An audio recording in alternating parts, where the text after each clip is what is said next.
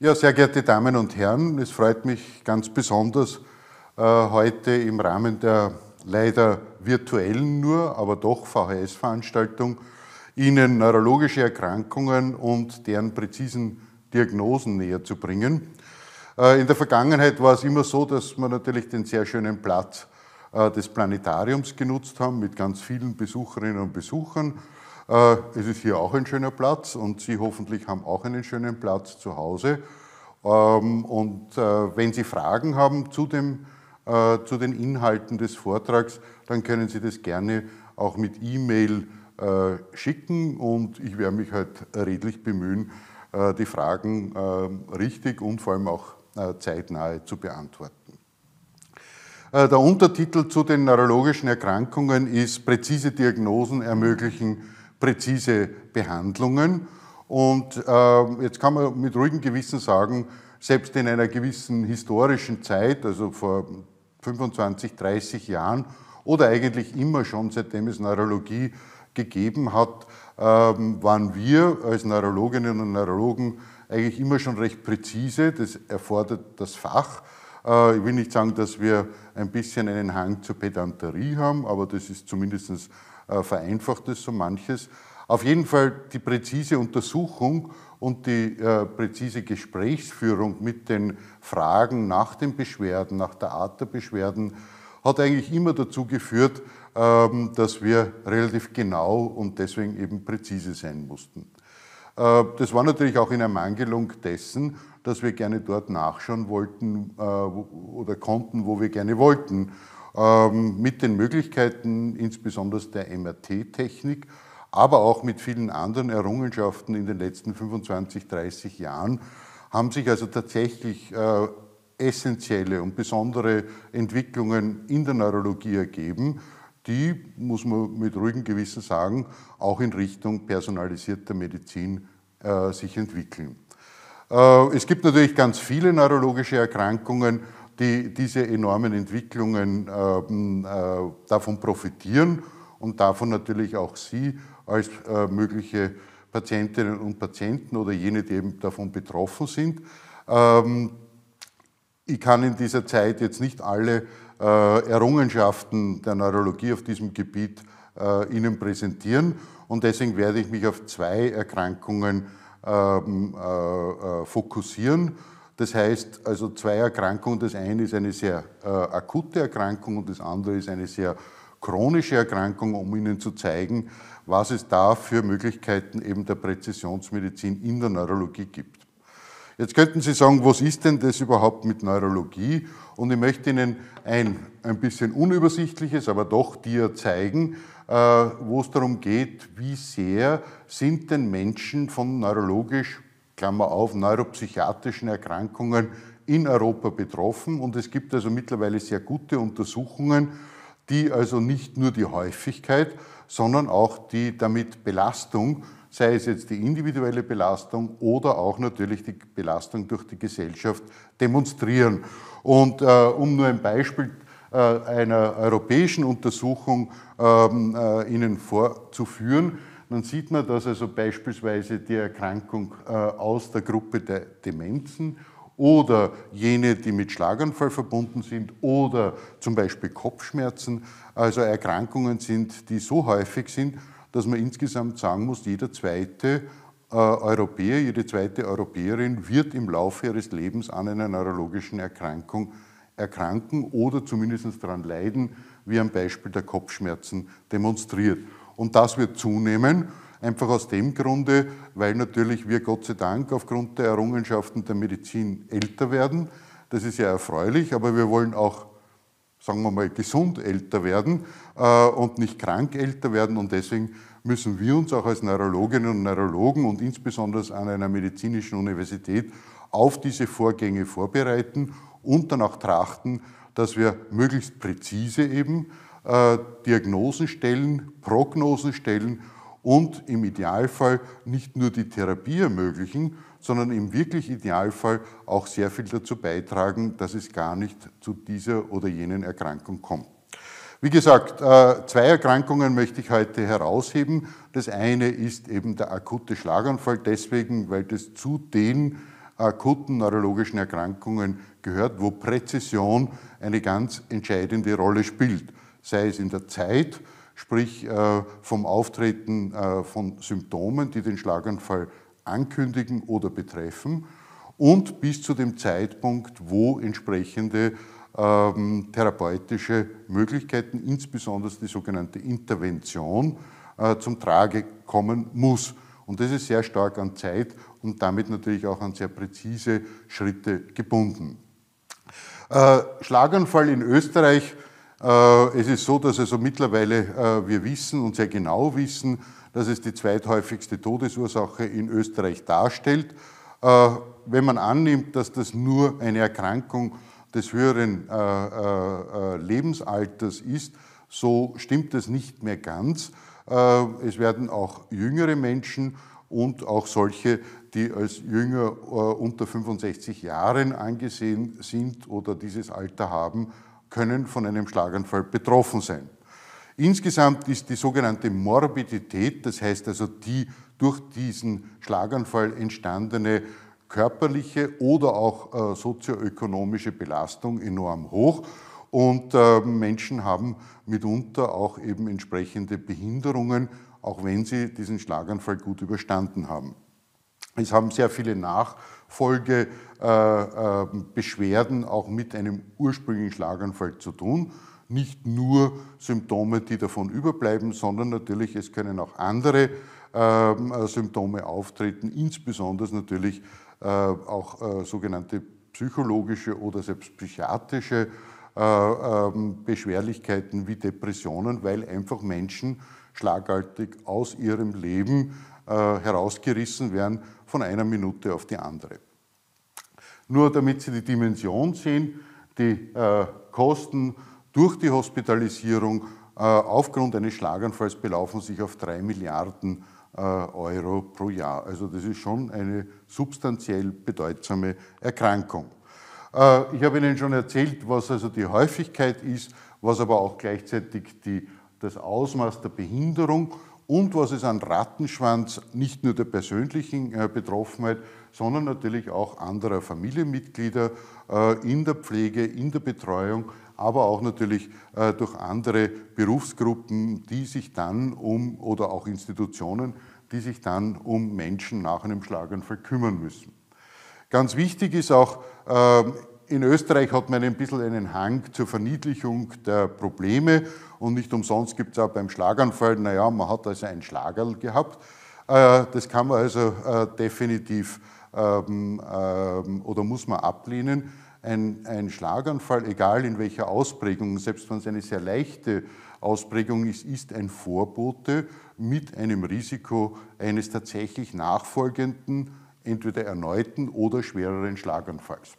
Es gibt dazu äh, zahlreiche Risikofaktoren. Ich glaube, das ist mittlerweile etwas, was auch äh, bei Ihnen, äh, Zuschauerinnen und Zuschauern, als möglicherweise nicht Betroffene äh, schon lang angekommen ist. Es gibt bestimmte Risikofaktoren und die äh, auch festzustellen oder zu wissen, ist natürlich von erheblicher Bedeutung, weil das nicht nur ein Ziel auch einer, äh, sage ich jetzt mal, vorbeugenden Therapie ähm, ist, sondern natürlich auch, wie ich eingangs gesagt habe, auch eine Möglichkeit der grundsätzlichen Vorbeugung äh, um eben überhaupt nicht in äh, das Risiko oder in ein Risikogebiet ähm, äh, eines Schlaganfalls zu kommen. In allererster Linie betrifft es lauter Risikofaktoren, die gefäßschädigend sein können. Also da ist in erster Linie sehr mechanische Faktoren wie zum Beispiel ein erhöhter Blutdruck, aber auch Faktoren, die in der Entstehung von Gefäßveränderungen, die wiederum äh, äh, prädisponierend oder wegbereitend für einen Schlaganfall sind, zum Tragen kommen, also wie zum Beispiel erhöhte Cholesterinwerte, äh, Diabetes, Übergewicht, aber auch zum Beispiel Nikotinkonsum und eben geringere Bewegung und andere Vorerkrankungen, die sich natürlich mit Gefäßpathologien oder aufgrund dessen aufgetreten sind, wie zum Beispiel ein Herzinfarkt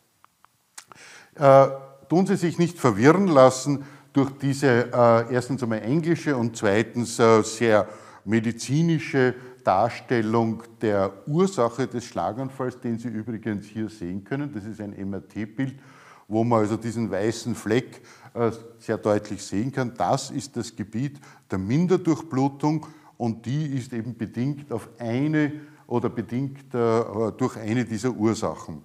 Wie gesagt, die häufigste Ursache ist, wie man hier schon sehen kann, auf der linken Seite ist die sogenannte Arteriosklerose. Also das muss man sich vorstellen, äh, wenn jemand unter Ihnen äh, Installateur ist oder auch mit ähm, dem Wassersystem und Rohrsystem bei Ihnen zu Hause vertraut ist. Ganz einfach, wenn ein Rohr verkalkt ist, dann wird ganz einfach der Wasserfluss gestört sein oder im schlechtesten Falle sogar gestoppt sein, weil das Rohr verstopft ist. Und so ähnlich muss man sich das vorstellen, wenn eben ein Blutgefäß durch erhöhten Druck, durch Ablagerungen äh, eben eingeengt wird, dann wird der Blutfluss und in dem Fall der Blutfluss zum Gehirn gestört werden und im schlechtesten Falle wird die Durchblutung unterbunden und dann tritt eben eine Durchblutungsstörung mit einer Minderversorgung auf. Äh, der zweite häufigste Grund sind sogenannte Embolien. Embolien, was heißt das? Das heißt, dass zum Beispiel äh, bei Herzerkrankungen eben Materialien in die Blutgefäße abgegeben werden können und damit auch wiederum zu einer Gefäßverstopfung oder Einengung führen können. Äh, dann gibt es also auch seltene Ursachen, auf die möchte ich gar nicht eingehen. Und, aber das, was uns am meisten natürlich heutzutage noch beschäftigt, sind, dass doch immerhin bei einem Viertel aller Betroffenen äh, die Ursache zumindest zum Zeitpunkt des Schlaganfalls ungeklärt bleibt. Das erfordert natürlich, dass man eine Nachbeobachtung macht, weil sich, wie halt so oft, äh, auch manchmal Dinge erst im Nachhinein herausstellen. Und dementsprechend muss man also die Spurensuche, wenn es ungeklärt ist, natürlich weitertreiben, um genau wiederum die Prophylaxe, die Verhinderung eines weiteren, einer weiteren Durchblutungsstörung eben zu ermöglichen. Äh, das ist nur noch einmal äh, das Beispiel der Arteriosklerose und wie Sie sehen können, hier ist also ein Gefäß, das sich hier verzweigt und wie sich dann eben diese Ablagerungen, die natürlich auch durch den Blutdruck, eben wie der Name sagt, durch den Druck bedingt ergeben, weil man sich leicht vorstellen kann, dass das äh, Gefäßareale sind, die besonders empfänglich sind für erhöhte Druckverhältnisse, weil sich dort eben eine Teilung dieser Gefäße ergibt. Und wenn eben dann Ablagerung im Zusammenhang mit anderen Risikofaktoren gibt, dann sehen Sie, so wie sich äh, hier dargestellt, diese sogenannten äh, Plaques entwickeln und die im Vergleich zum Beispiel zu diesem Bild oder jenem Bild zu einer Einengung führen. Und andererseits kann aber auch Material, auch wiederum durch den Blutdruck, äh, sozusagen abgerissen werden und damit natürlich in weitere kleinere Gefäßregionen äh, hineingeschossen werden im wahrsten Sinne des Wortes und dort am Endast eine Verstopfung und damit natürlich auch wiederum eine Minderversorgung äh, zu verursachen. Man kann zwei wesentliche Gruppen im äh, Rahmen des Schlaganfalls unterscheiden. Das eine ist die sogenannte, ich sage jetzt einmal den fachchinesischen Ausdruck, transitorisch-ischämische Attacke. Was heißt das? Transitorisch ist klar. Äh, das heißt, es ist nur eine kurze Zeit anhaltend oft nur Sekunden, oft nur wenige Minuten. Äh, und die Definition sagt ganz klar, es muss aber innerhalb von 24 Stunden sich wieder gelöst haben, das Problem. Wie eben schon gesagt, 90 Prozent aller dieser kurzfristigen Attacken sind weniger als 10 Minuten.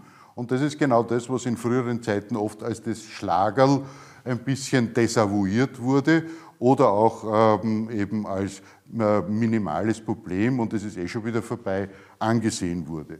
Nichtsdestotrotz erinnern Sie sich, was ich vorher gesagt habe, äh, es gibt ein sehr hohes Risiko, wenn so etwas einmal aufgetreten ist, dass sich dann tatsächlich ein Schlaganfall daraus entwickelt und zwar in oft einmal ein, zwei Wochen Abständen. Also das heißt, es macht einen Sinn äh, bei entsprechenden Symptomen und die sind hier äh, beispielhaft aufgelistet, äh, sofort entweder Ihren Hausarzt, Ihre Hausärztin, noch besser natürlich Neurologin oder Neurologin aufzusuchen, um das abklären zu lassen.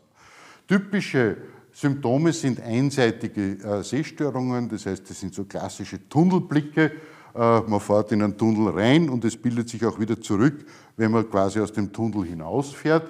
Einseitige Lähmungen, ob das jetzt ein Mundast ist oder eine Lähmung eines Arms oder eines Beins. Es können auch Sprach- und Sprechstörungen auftreten, sodass man sagt, ich wollte jetzt ein Wort sagen und das fällt mir nicht nur nicht ein, sondern ich kann es nicht aussprechen. Äh, das ist so eine typische sogenannte Aphasie. Und es können aber auch ähm, zum Beispiel Augenbewegungsstörungen auftreten. Also wie gesagt, die transitorische Attacke heißt, dass es üblicherweise innerhalb von 10 Minuten diese Symptome wieder vergehen. Wenn das aber nicht der Fall ist, dann können bestimmte Regionen des Gehirns, die sind hier farblich äh, hinterlegt, und zwar die sind deswegen unterschiedlich, weil unterschiedliche Blutgefäße unterschiedliche Regionen versorgen. Und dementsprechend, Neurologie ist ein sehr äh, logisches Fach, wenn also ein Blutgefäß betroffen ist, das zum Beispiel dieses hintere Areal versorgt, dann können auch nur die entsprechenden äh, neurologischen Symptome auftreten, die hier verankert sind. Also zum Beispiel, das wäre ein sogenannter Posterior, also das heißt ein hinterer Infarkt. Und da gibt es oft ganz typische Sehstörungen, die wiederum nicht Doppelbilder sind oder eben dieser Tunnelblick, sondern man sieht zum Beispiel im Gesichtsfeld die eine Seite oder jene Seite schlechter.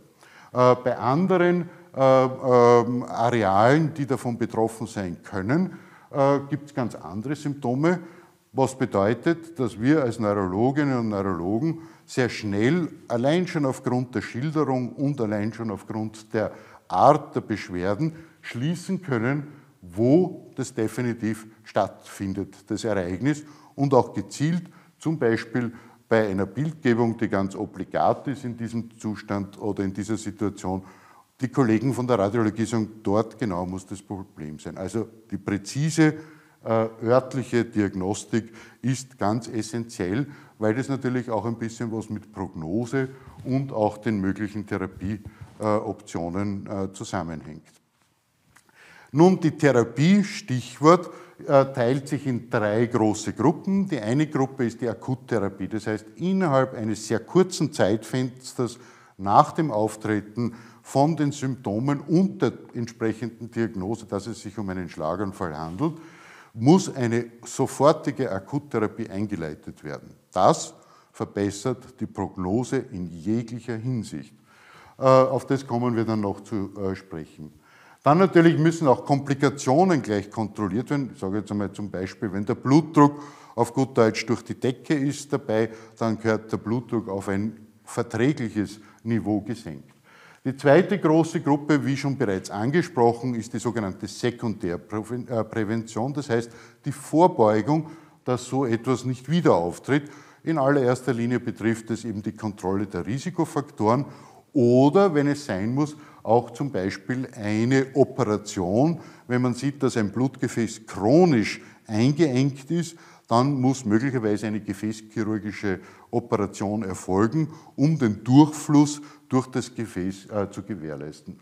Und dann natürlich insbesondere nach der Akuttherapie ist auch die Regel eine Rehabilitation, sei es in stationären oder sei es im ambulanten Setting. Das Mantra ist, Schlaganfall ist ein Notfall. Und es ist also mittlerweile schon eine gängige Phrase, Time is Brain.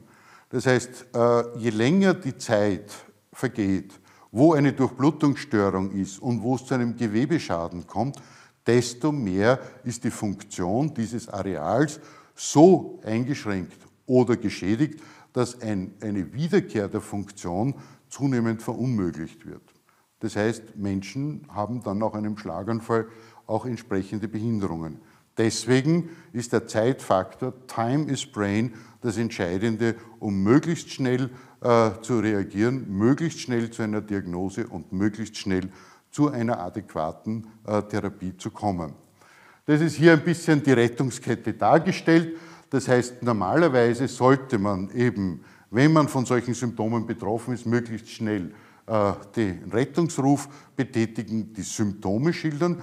Äh, das Rettungswesen in Österreich, auch in Wien natürlich ganz besonders, ist bereits sehr gut darauf eingestellt, dass wenn es sich um Symptome eines Schlaganfalls handelt, die sofort eine sozusagen Kaskade ablaufen lassen, welche Maßnahmen äh, zu treffen sind. Das heißt, es wird mit äh, Notarzt sofort auch ähm, äh, eine, eine Abholung des oder der Patientin äh, durchgeführt. Es wird gleichzeitig das Schlaganfallzentrum äh, vor Ort in Wien gibt es ja mehrere, in anderen Gegenden in Österreich, ich werde auf das noch kommen, ist das natürlich ein bisschen entfernt, aber alles innerhalb einer halben Stunde Erreichbarkeit, wird dieses Schlaganfallzentrum informiert und dann sofort mit äh, Erreichen eben des äh, Krankenhauses, wo eben diese Schlaganfalleinheit besteht, läuft die Maschinerie der Diagnose ab. Also das geht von Blutabnahme sofort in die Computertomographie, um eben sofort auch eine äh, geeignete Therapie einzuleiten. Also das ist die Rettungskette und so sollte das ablaufen. Hier noch einmal eine kurze grafische Darstellung, was der Zeitfaktor ausmacht. Und Sie sehen, was also hier äh, an vielen, vielen Studien äh, gezeigt wurde, je schneller die Akuttherapie eingeleitet wird, und zwar schneller heißt innerhalb von drei Stunden nach Auftreten der Symptome, desto besser ist der Outcome und damit die Prognose und damit auch geringer das Risiko, dass eine bleibende ähm, Schädigung und Behinderung das Resultat dieses Schlaganfalls ist. Und das passiert in allererster Linie mit der sogenannten Thrombolyse. Was heißt es? Lyse heißt auflösen und Thrombus ist genau dieser äh, Stopfen, äh, dieser, ähm, ähm, diese, äh, diese Verdichtung vom Material, die eben zu einer Gefäßverstopfung führt. Und das soll durch diese Therapie, die üblicherweise intravenös gegeben wird, äh, aufgelöst werden. Ich zeige Ihnen ein Beispiel. Hier sieht man äh, also eben ein äh, CD äh, des Gehirns und was man sehen kann, ist nicht viel, sondern ganz, ganz leicht nur ein weißes Pünktchen. Und dieses weiße Pünktchen sagt uns, dass hier ein Gefäß verschlossen ist. Das kann man auch sehen in so einer Art äh, Stoffwechseluntersuchung. Hier geht es also um den Nachweis, wie viel Sauerstoff in einem bestimmten Areal des Gehirns gerade am Umsatz ist und je weniger, desto eher natürlich die Durchblutungsstörung. Und Sie sehen hier, genau an dieser Stelle sieht man ein doch deutliches schon äh, Minderdurchblutungsareal. Und in einer Blutgefäßdarstellung, das Rote sind die Blutgefäße, sieht man genau hier korrespondierend, dass das hier fehlt. Also dieses Blutgefäß ist zu und deswegen muss als nächste Aktion dieses Blutgefäß wieder eröffnet werden.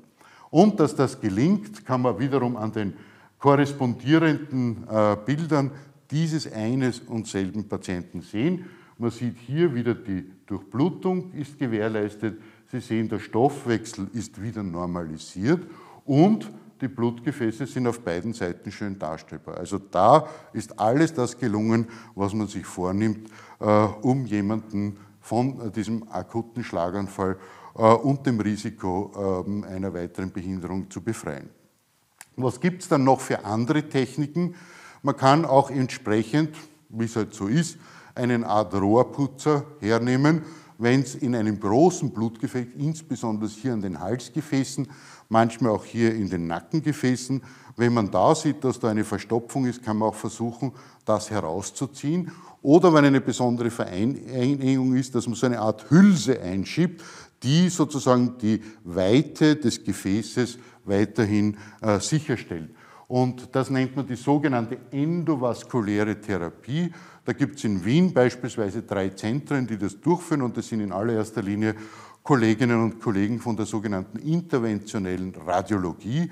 Also das machen nicht wir als Neurologinnen und Neurologen, sondern das machen Radiologen, weil es eine recht komplizierte Angelegenheit ist. Aber vom Prinzip ist es so, dass äh, üblicherweise von der Leiste ein Katheter eingeschoben wird, ähnlich wie bei Herzkatheteruntersuchungen, bis an die Stelle vorgeschoben wird, wo die Einengung oder der Verschluss des Gefäßes ist. Und dann wird dieses eben eröffnet, indem man entweder diesen Zapfen, der den Verschluss ausmacht, herauszieht oder eben die Weite des Gefäßes durch diese innere Hülle äh, oder Hülse äh, sicherstellt. Also das sieht man hier schematisch. Wie schaut es in der Wirklichkeit aus? Sie kennen das jetzt mittlerweile schon. Man sieht hier einen Abbruch eines Gefäßes, auch hier wieder die Minderdurchblutung und gleichzeitig aber auch den Erfolg, nämlich dass das Gefäß eröffnet ist, es gibt keinen tatsächlichen Schlaganfall und die Ursache war dieses Drum, muss man wirklich sagen, dieses Drum an einem Stopfen, äh, der das Blutgefäß eben verstopft hat und das entsprechend von den Kollegen der interventionellen Radiologie mit diesem Katheter herausgezogen wurde.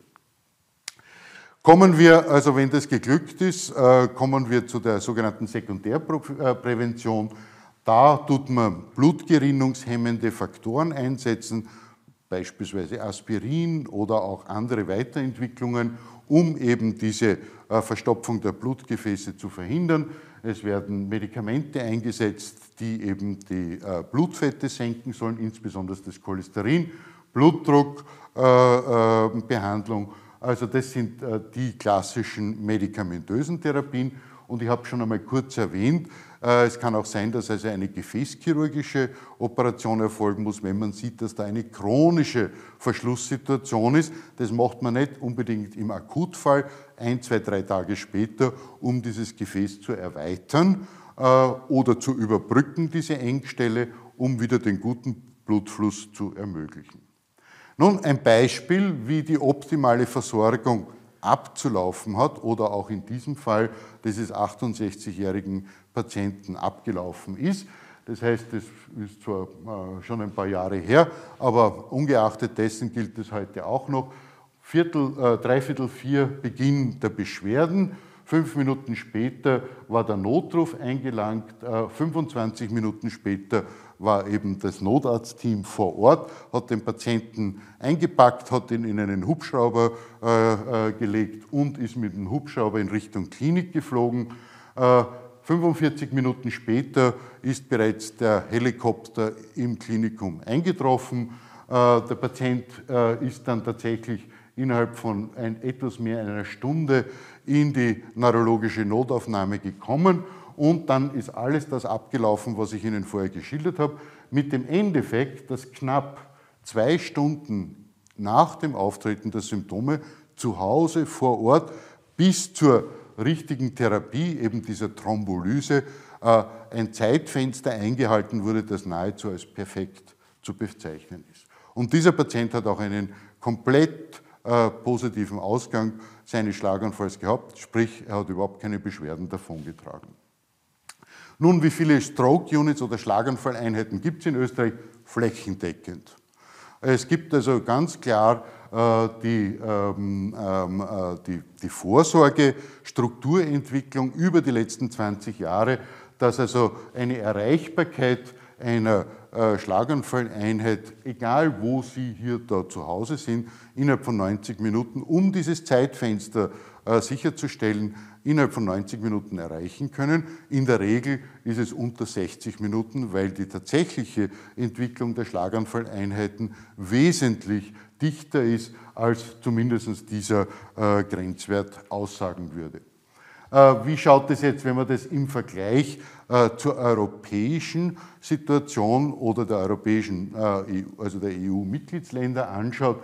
Dann sieht man, das ist die Zahl der Patientinnen und Patienten, die an einer Schlaganfalleinheit behandelt werden, was sozusagen im Englischen heißt Best of Care, das heißt die optimale Versorgung dadurch gewährleistet ist. Da sehen Sie, dass in Österreich doch 66, fast 70 Prozent aller Schlaganfallpatientinnen an einer neurologischen Schlaganfalleinheit behandelt werden. 66 äh, Prozent ist gut, aber da ist ein bisschen Luft nach oben hin noch. Und dementsprechend gibt es auch einen sogenannten Aktionsplan, der nicht nur für Europa, sondern natürlich auch speziell für uns gilt hier in Österreich.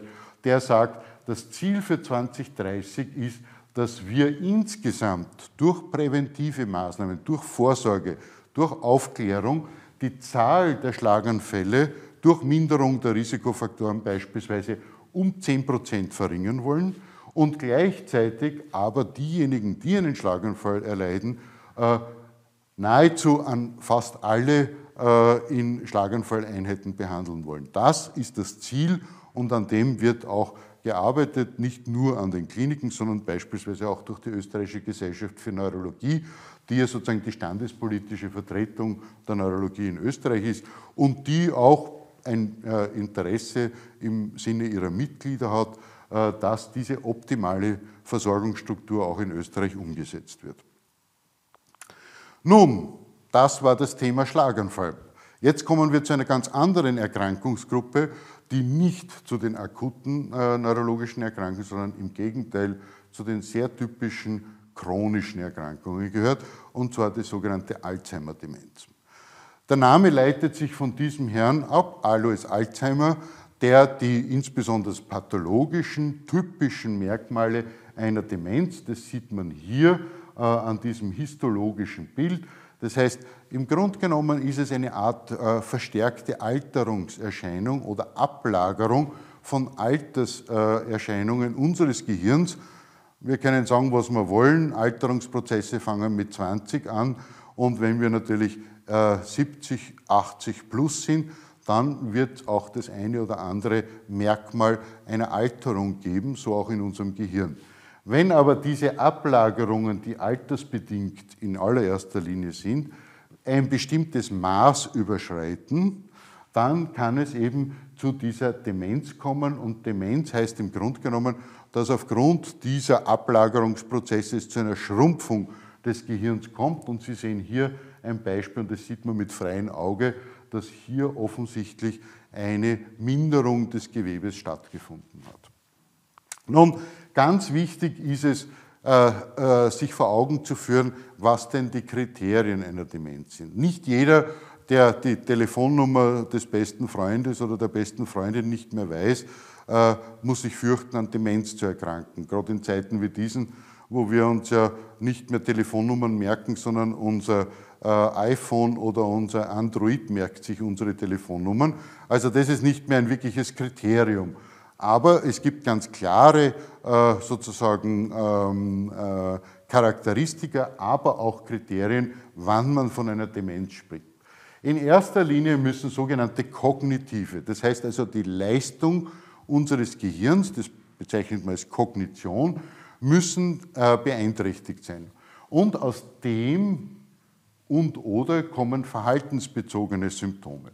Das heißt beispielsweise, das Funktionieren von Alltagsaktivitäten ist nicht mehr das, was man von früher kannte.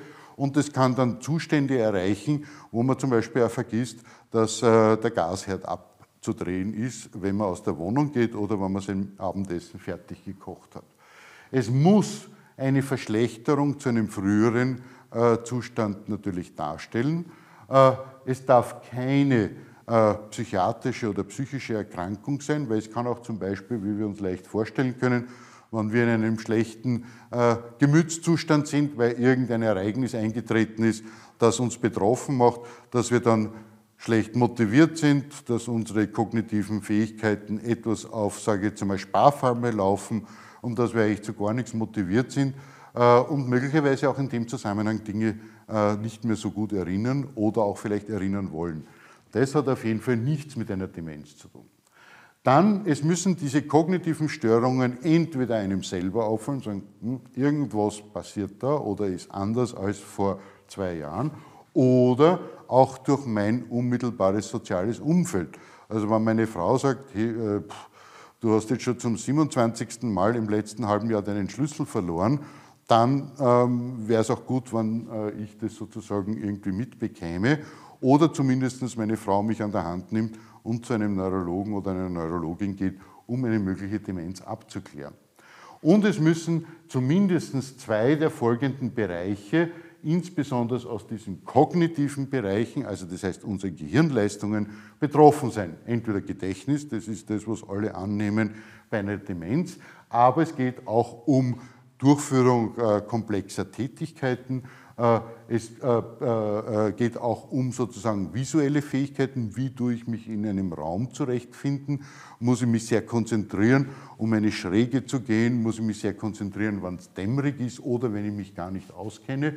Tue ich vielleicht auch nicht mehr genau wissen, wie ich von A nach B komme? Also das sind sozusagen auch räumliche visuelle Funktionen. Sprachfunktionen können äh, ändern, aber eben nicht akut, wie beispielsweise beim Schlaganfall zuvor, sondern eben, dass sich das so peu à peu über Monate oder länger ähm, entwickelt. Und eben, wie gesagt, die Verhaltensveränderungen, die meistens ja an das geknüpft sind.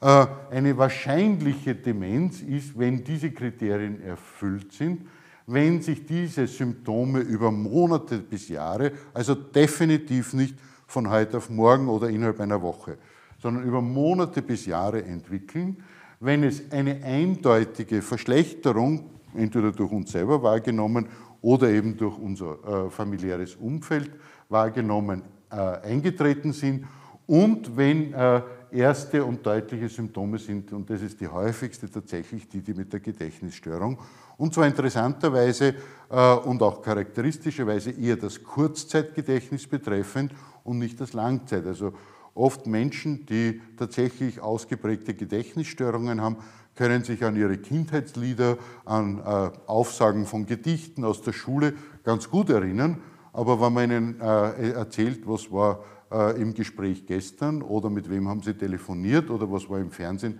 Sie sich dessen nicht erinnern können. Und dann gibt es eine sogenannte nicht das Gedächtnis betreffende Variante und das sind alle anderen. Nun, äh, es gibt einen Punkt, und warum ich das jetzt speziell erwähne, ist, weil sich alles konzentriert darauf, sozusagen möglichst frühzeitig ein äh, Risiko einer Demenz und auch im Speziellen einer Alzheimer-Demenz äh, festzustellen, einfach um sozusagen auch vorbeugende Maßnahmen, vielleicht auch die Therapien möglichst früh einzusetzen. Und zwar einfach aus dem Grund, man muss einfach sagen, wenn einmal ein bestimmter Grad an einer Beeinträchtigung erreicht ist, dann ist das Rad der Zeit nicht zurückzudrehen. Das heißt, es hat dann der Schaden, diese Ablagerungen, die ich Ihnen vorher gezeigt habe, ein so ein Ausmaß äh, angenommen, dass das nicht mehr reversibel ist.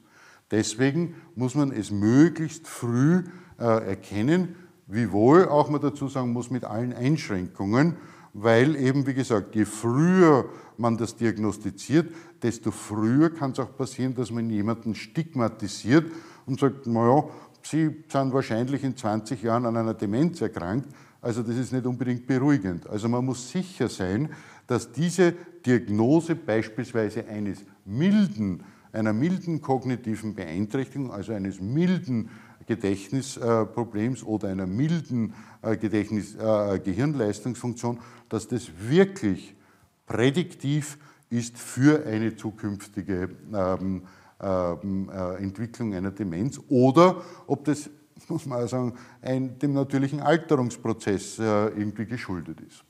Also tatsächlich ist es so, dass die Sorge um diese Verschlechterung von Patientinnen äh, eben empfunden oder auch berichtet wird. Es muss eben objektiv Leistungseinschränkungen geben. Das macht man beispielsweise mit sogenannten neuropsychologischen Untersuchungen. Das ist nichts Gefährliches, sondern da ist man einem gewissen hm, Leistungstest unserer Gehirnleistungen äh, untersetzt oder ausgesetzt und wird also üblicherweise von sehr netten Neuropsychologinnen und Neuropsychologen getestet in einer möglichst stressfreien Situation um eben das subjektive Empfinden von dem tatsächlich objektiven äh, zu trennen. Es muss definitiv die Unabhängigkeit im Alltagsleben erhalten werden. Also diese Verhaltensveränderungen, die ich vorhin erwähnt habe, sind hier definitiv ausgeschlossen und natürlich es darf noch keine Demenz äh, vorliegen und alle anderen Ursachen wie immer in einer Diagnose müssen ausgeschlossen sein, sonst ist man definitiv am falschen Dampfer. Nun, was zur Therapie dieser, ähm, dieser Demenz. Grundsätzlich äh, muss man heutzutage noch feststellen, bedauerlicherweise feststellen, dass es keine Therapie gibt, die kausal wirksam ist. Also das heißt, die an der, am Grundübel der Entstehung tatsächlich ansetzt. Das heißt, äh, man kann eine leichte oder mittelgradige mit verschiedenen, sage ich jetzt einmal, symptomatischen Therapien äh, entweder medikamentös oder auch nicht medikamentös, wie zum Beispiel neuropsychologisches Training, sehr wohl äh, stabilisieren oder sogar verbessern. Aber wenn jemand, ein Betroffener in eine schwere Demenz bereits übergetreten ist oder am äh, sozusagen Übertritt ist, dann ist es mit der Therapie sowohl der medikamentösen als auch der ähm, nicht medikamentösen äußerst schwierig. Und da sind wir genau dort, wo ich wieder, was ich vorher erwähnt habe, man kann das Rad nicht zurückdrehen. Das, was passiert ist, ist dann nicht mehr reversibel. Umso mehr muss man eben möglichst früh die richtige Diagnose in diesem Zusammenhang stellen. Nun, jetzt kommt was recht Wissenschaftliches, erschrecken Sie nicht, aber Sie erinnern sich, diese Ablagerungen, die ich erwähnt habe, sind un, äh, insbesondere sogenannte Amyloid-Ablagerungen. Das ist ein bestimmtes Eiweiß, das sich eben im Gehirn ablagert, das sieht man hier, und das ganz charakteristisch ist für eben die Alzheimer-Demenz. Also die logische therapeutische, zumindest einmal theoretische Ansatz ist der, dass man die Bildung dieses äh, Proteinzusammenrottung, dass es dann eben sich so zu einem Klumpen äh, entwickelt, dass man versucht, die zu verhindern. Also das heißt, diesen Ablagerungs-, vielleicht auch Alterungsprozess eben zu minimieren. Also man versucht über verschiedenste Wege, und Sie sehen, da gibt es also mehrere Wege, die hier illustriert sind, um eben dann medikamentös anzusetzen und um das zu verhindern. Man kann auch versuchen, eine sogenannte Immunantwort äh, hier äh, zu unterbinden, und zwar einfach deswegen, egal was in unserem Gehirn, so auch natürlich in jedem anderen Organ, aber auch insbesondere in unserem Gehirn, weil es ein bisschen ein abgeschottetes Organ ist, äh, egal was dort passiert, wird eine Immunantwort, Klammer auf, unter Anführungszeichen Entzündungsreaktion verursacht und die wiederum kann dazu beitragen, dass der ganze Prozess weitergetragen wird. Also auch ein Ansatz ist, diese immunologische, Klammer auf, entzündliche, äh, warum sage ich äh, Klammer auf, weil es nichts mit Infektion zu tun hat, sondern es hat eben mit einer, sage ich jetzt mal, körpereigenen Immunreaktion zu tun, dass man die blockiert, um das Weitere zu verhindern. Und äh, das ist eben das, was ich gesagt habe, diese Bildung. So, nun, wie schaut das aus? Erschrecken Sie nicht, aber das ist die Liste aller Medikamente, die äh, in sozusagen äh, klinischen äh, Studien untersucht werden, um sozusagen die Alzheimer-Erkrankung nicht in ihrem Ausbruch, aber in ihrem Schweregrad zu erleichtern. Da gibt es ganz verschiedenste Ansätze und die vielversprechendsten, die sich hier, und das Alpha-Beta heißt wieder dieses Amyloid, also dieses Eiweißverklumpung, die dann in verschiedensten Gehirnabteilen äh, abgelagert werden und eben dann diese Probleme verursachen einer Demenz, dass hier die vielversprechendsten hier mit Pfeilen äh, äh, angezeichnet sind und die sind tatsächlich die, wo wir berechtigte Hoffnungen setzen, dass die tatsächlich äh, auch in den klinischen Alltag kommen. Das ist nicht ganz so simpel, weil das durchlauft einmal sehr lange Prozesse. Aber wenn man schon einmal in einer Phase 3 Studie, in einer sogenannten angekommen ist, dann ist zumindest der Schritt für eine Zulassung äh, und damit natürlich auch eine Zurverfügungstellung äh, Gott sei Dank nicht mehr ein so großer, vorausgesetzt, dass natürlich auch entsprechend gute Ergebnisse damit erzielt werden. Das heißt, die Herausforderungen, die wir aber mit diesem weiten Erkrankungsbild Demenz haben, ist die Balance zu finden zwischen erfolgreichem Altern, dem sind wir alle ausgesetzt, äh, ab wann ist es nicht mehr nur noch Altern, sondern ist schon eben, wie vorhin erwähnt, diesen Begriff ein mildes Gedächtnisproblem als Vorstufe zu einer Demenz. Äh, wie kann man das sozusagen gegenüber dem subjektiven Empfinden, ich bin irgendwie nicht mehr, mehr so geistig fit wie früher, wie kann man das voneinander trennen, ohne auf der einen Seite, wie schon erwähnt, Stigmatisierung durch oder Ängste zu schüren oder auf der anderen Seite natürlich frühzeitig äh, entsprechende Maßnahmen, vorbeugende oder auch, wenn es eben, wie gesagt, äh, therapeutische, medikamentöse geben sollte, auch hier einzusetzen, um letztlich das zu verhindern. Das sind also die Herausforderungen. Wie kommt jetzt diese Präzisionsmedizin der Neurologie hier ins Spiel?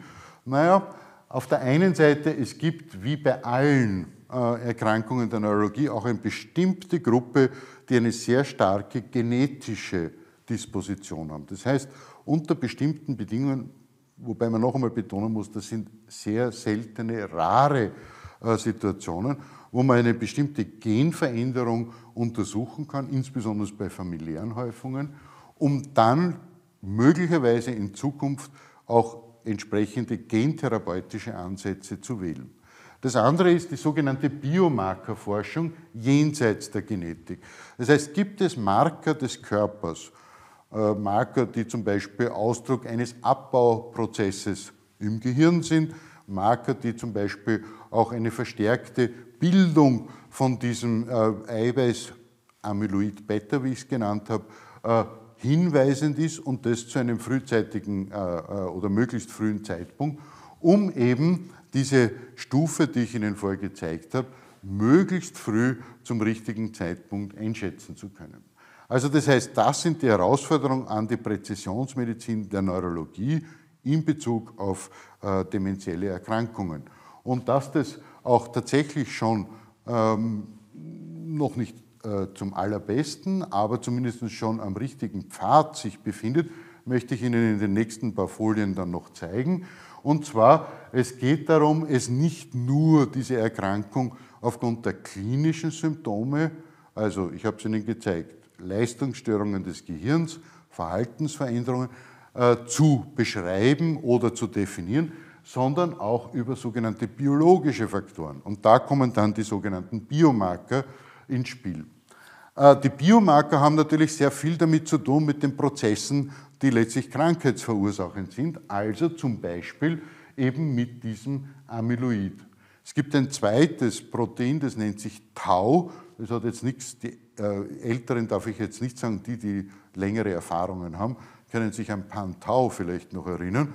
Das hat aber mit dem nichts zu tun, sondern das ist ein anderes Protein, ähnlich wie das Amyloid, das durch Abbauprozesse sich sozusagen verdichten, verklumpen und ablagern kann. Und dann eben äh, Ausdruck der Neurodegeneration, also das heißt zum Beispiel eben wie das Bild ganz am Anfang, Schrumpfungsprozesse, Volumensveränderungen des Gehirns durch beispielsweise bildgebende Verfahren wie dem MRT nachweisbar sind. Und wenn man das alles zusammenfasst, dann kommt man auf einen sogenannten Index, wenn man möchte, der einem Hinweise gibt, erstens einmal besteht eine äh, Demenz und zweitens in welche Richtungen geht es. Und ich möchte Ihnen ein Beispiel zeigen. 67-jährige äh, Person, Person deswegen, weil es kein Patient ist, es ist ein völlig gesunder Mensch.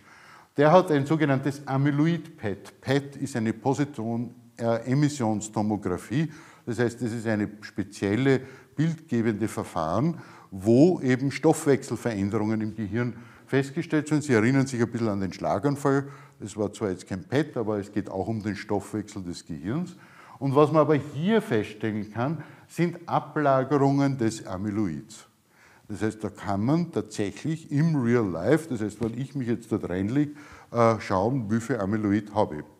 Das nutzt aber noch nicht sehr viel, weil wenn zum Beispiel die anderen Untersuchungen, wie hier dasselbe, kann man auch mit diesem anderen Protein machen, Tau, völlig normal ist und das MRT auch keine Hinweise gibt, dass da irgendwelche Einschränkungen sind, dann hat dieser Patient, äh, äh, äh, diese Person weder eine Demenz, aber vielleicht ein gewisses Risiko. Nur das ist etwas, was wir eher noch äh, mit einem großen Fragezeichen versehen, weil sonst könnte man ja jeden einladen, über 65 stecken Sie sich in dieses Gerät äh, und wir testen für Amyloid. Und wenn es ein bisschen zu viel ist als üblicherweise, dann haben Sie möglicherweise einen präklinischen Alzheimer so ist es nicht. Das heißt, wir nützen das jetzt, um in der Differentialdiagnose tätig zu sein, um den Ausschluss gegenüber anderen Erkrankungen.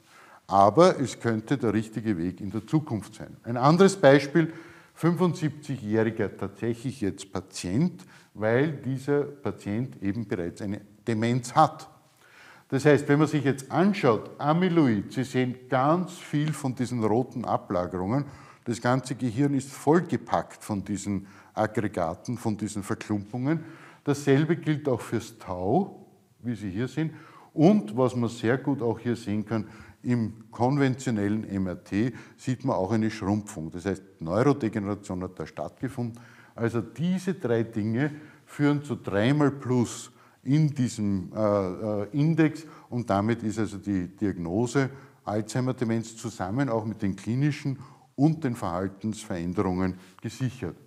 Und schließlich eine Patientin 90 äh, Jahre mit einer schweren äh, Demenz und da sieht man auch hier diese roten massiven Ablagerungen, aber komischerweise in diesem sogenannten Taubpad sieht man nichts Besonderes, während hingegen auch hier wieder deutliche Zeichen der Neurodegeneration. Also diese Patientin hat keine Alzheimer-Demenz, sondern möglicherweise eine Mischung. Man kann auch, wenn man sehr viele Durchblutungsstörungen hat, beispielsweise auch diese Ablagerungen haben oder diese Veränderungen. Nun, was gibt es für Zukunftsaussichten? Und da muss man ein bisschen auch äh, was zeigen, was ein bisschen sozusagen äh, modern ist äh, oder jenseits dessen, was wir schon benutzen. Und was man machen muss, man möchte mit bildgebenden Verfahren die Oberflächenstruktur des Gehirns nicht nur vermessen, sondern auch das Volumen messen, um also auch auf kleine Schwankungen, die ja dann vielleicht in die richtige äh, diagnostische Richtung gehen, zu messen. Und wie das geht, zeige ich Ihnen jetzt. Also man kann dann von der Oberfläche des Gehirns, wo das Gehirn sozusagen kartografiert wird, mit diesen MRT-Methoden bis ins kleinste Detail bestimmter Areale hineingehen. Und Sie sehen, was da für Vergrößerungen, äh, und zwar das ist jetzt nicht nur am Modell, sondern das kann man am Menschen auch natürlich mit nicht äh, unerheblichen Aufwand betreiben. Und dann kann man alle die relevanten, wo man weiß, dass das bestimmten Symptomen entspricht oder Leistungen entspricht, sozusagen auch färbig darstellen und vergleichen. Das ist wäre zum Beispiel ein Patient mit einer Alzheimer-Demenz versus eines Patienten oder eigentlich eines Probanden, eines gesunden Menschen. Und da sieht man schon mit freiem Auge, wenn man zum Beispiel dieses grüne Areal hernimmt, das ist viel dünner als hier. Also man kann auch nicht nur das Gesamtgehirn, sondern bestimmte Areale, die für bestimmte Funktionen zuständig sind, sehr genau untersuchen, um dann auch wiederum das Ziel, die Ambition zu haben, möglichst frühzeitig äh, Veränderungen zu entdecken. Es gibt auch andere, zum Beispiel eine bestimmte Region, äh, auch hier, da sehen Sie, also das ist wieder der Proband, also jemand, der gesund ist. Dieses Volumen ist sozusagen deutlich mehr als dieses Volumen und das ist also bereits von, allein von dieser, da ist noch überhaupt kein anderer Test gemacht worden, hinweisend für eine mögliche Demenz. Also das ist noch nicht ganz für Routinezwecke komplett entwickelt, aber das ist der Weg, in den wir uns, äh, auf dem wir uns befinden und wo wir in den nächsten Jahren sicherlich auch verstärkt in der Routine äh, hinkommen werden. Alles zusammengefasst, was ich Ihnen jetzt dargestellt habe, zu dieser Biomarkerforschung oder zum Teil auch schon ein bisschen Einsatz, äh, sei es jetzt mit Biomarkern wie diesem Amyloid oder Tauprotein oder auch mit verschiedenen bildgebenden Verfahren, gleichzeitig auch verbunden mit den klinischen neuropsychologischen Verfahren, möchte man sozusagen alle diejenigen, die natürlich eine sehr frühe äh, äh, Entwicklung einer zum Beispiel kognitiven Leistungsstörung haben, äh, feststellen. Und das möglichst natürlich zu einem Zeitpunkt, wo äh, überhaupt keine klinischen Symptome noch bestehen. Äh, ein anderer Punkt, den ich noch ganz am Schluss Ihnen in diesem Zusammenhang sagen will, es ist nicht ganz so wie beim Schlaganfall, aber es ist tatsächlich so, dass es auch für die Alzheimer-Demenz eine gewissen Risikofaktoren gibt. Äh, ob es zum Beispiel Durchblutungsstörungen, habe ich vorher kurz erwähnt, dass wenn viele Durchblutungsstörungen bestehen, das auch zu einer Form einer Demenz, wenn nicht Alzheimer, aber am Ende des Tages ist es dann egal, ob jemand von einer Alzheimer oder einer vaskulären, also durch gefäßbedingte Demenz leidet, weil das Problem für den betroffenen Menschen völlig das gleiche ist. Es gibt aber auch andere, was zum Beispiel auch die Fitness, nicht nur die körperliche Fitness, auch die geistige Fitness. Und äh, man hat also immer wieder gehört, es wird nicht nur daran liegen, wie viel Sudokus man am Tag äh, löst, sondern es wird was her mit Lifelong Learning. Und das ist nicht nur ein blöder Spruch aus unserer Schulzeit, äh, dass äh, das Leben aus Lernen besteht oder auch von allen möglichen Anbietern irgendwelcher Kurse, aber tatsächlich ist es so. Das Gehirn ist ähnlich wie ein Muskel permanent zu trainieren. Wenn wir aufhören zu trainieren, wird unser Muskel schlapp werden. Und da gibt es ganz viele Varianten, sei es Übersport, weil das ja viel Koordination bedeutet, Tanzen zum Beispiel ist auch immer wieder in letzter Zeit genannt worden und ist eine enorme kognitive Leistungsherausforderung aus verschiedensten Gründen. Also das heißt, es gibt sehr viele Möglichkeiten, frühzeitig, nicht dann, wann die ersten Beschwerden auftreten, sondern frühzeitig äh, mit vorbeugenden Maßnahmen äh, möglichst danach zu trachten, ein Problem einer Demenz hintanzuhalten. Und wann das zumindest uns überhaupt nicht betrifft, dann haben wir zumindest ein gutes Leben gehabt mit allen möglichen netten Aktivitäten. Äh, und mit dem möchte ich auch schon zum Ende kommen. Das heißt, auch hier ist die Entwicklung in Richtung personalisierter Medizin von höchster Bedeutung, um diese Biomarker zu identifizieren und zwar nicht nur gruppenweise, sondern individuell für einzelne Menschen und das zu kombinieren eben auch mit äh, entsprechenden bildgebenden Verfahren. Dazu braucht es natürlich viel Verständnis. Ich will jetzt nicht sagen, äh, dass unser Gehirn und die Funktionen unseres Gehirns eine Blackbox sind, aber sagen wir mal, grau ist es immer noch. Das heißt, wir haben sehr vieles, was wir Neues lernen müssen und gleichzeitig aber auch nicht nur unsere eigene Neugier, sondern auch die wissenschaftliche Neugier führt dazu, dass wir aus dem Fremden und Unbekannten letztlich unser Vertrautes und Wissen bilden. Und das gilt für Sie in Ihrem Alltag und für mich in meinem Alltag, aber auch in meinem beruflichen Alltag an einer forschenden Institution ganz von großer äh, Bedeutung und von äh, ganz großer Wichtigkeit. Und in dem Zusammenhang ist eine natürlich, ähm, sage ich jetzt einmal, gemeinsame Aktivität. Also man setzt sich nicht in stille Kämmerchen und überlegt sich einfach irgendwas, wie können wir jetzt da weiterkommen.